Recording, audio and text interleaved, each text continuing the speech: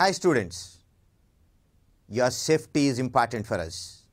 So we have come forward with the live classes to give you non-stop learning experience. Today's amazing assignment is singular and plurals. Write the plural form for the given words. You have five words with some pictures given.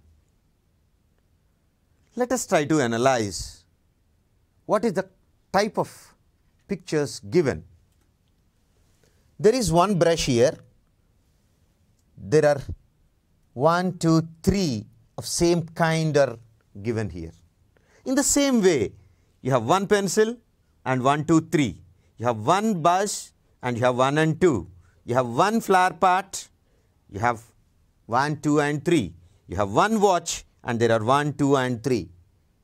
That means for a picture which is 1 in number, when we add something or when we add the same kind of objects, more pictures are going to be formed.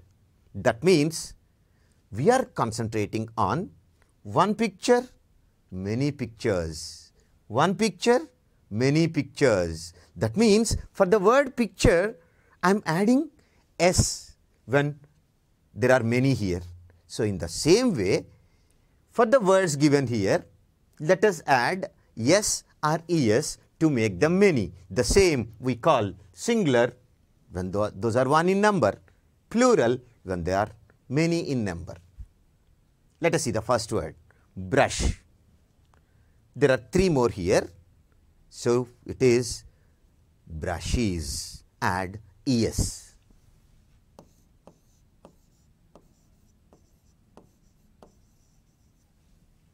Brush is singular, brushes is plural. Pencil, when it is one in number, add s to it to make it more.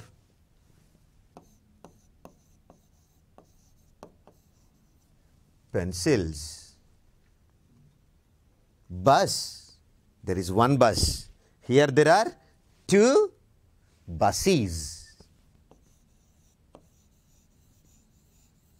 We have added es and we pronounce that buses.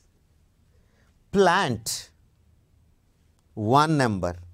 There are three plants.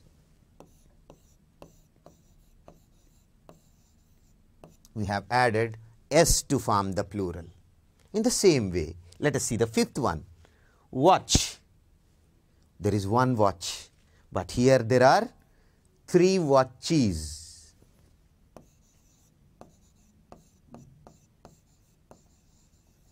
ES is added to form the plural. Let us have a recap of these. Brush, brushes, pencil, pencils, bus, buses, plant, plants, watch, watches. This is how plurals are formed for singular words. Hope you have